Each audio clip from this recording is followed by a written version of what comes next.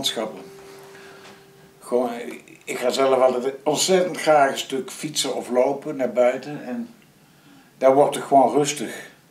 En dan maak ik er van. Ik heb dus heel lang geleden ontdekt dat je met, vooral met, met lino snijden, dat je daar veel meer met kleur kunt uitzoeken. Op een makkelijke manier dan met schilderen eigenlijk.